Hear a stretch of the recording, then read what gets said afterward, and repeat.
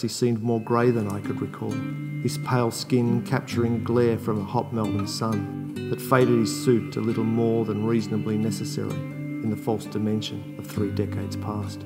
I momentarily departed the southbound mundane to enter the smoky haze of the Prince of Wales to a Died Pretty requiem and swirling serenades of Ron Peno's twisted grace reaching skyward to a strangled harmony of bliss from passion's edge. It was then a city bound abducted the scene, leaving the platforms as empty as all time past or passing.